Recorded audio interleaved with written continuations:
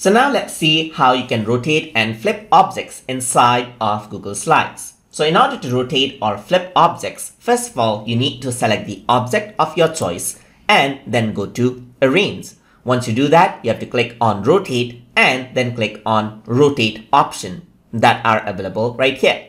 If I were to click on Rotate 90 degrees, you can see that it has been rotated 90 degrees.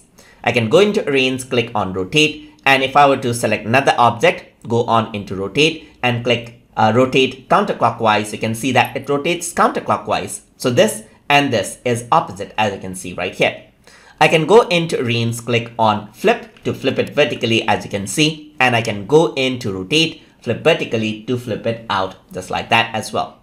The concept works with images as well. So I'm just going to go and insert uh, an image. I'm just going to search on web and I'm going to search for computer, let's say for example, and I'm going to bring this in right here. So I'm just going to go around and then insert it in. Yeah, that's ha that has been inserted. So what I'm going to do is I'm going to select this and I'm going to go to arrange, I'm gonna go to into rotate and you can see that it rotates out the image as well. I can go around over here into rotate and flip it out just like that as well. And that is how you can rotate and flip uh, images and objects inside of Google Slides. So hope you guys learned something as always. And as always, please like, comment, share, and subscribe.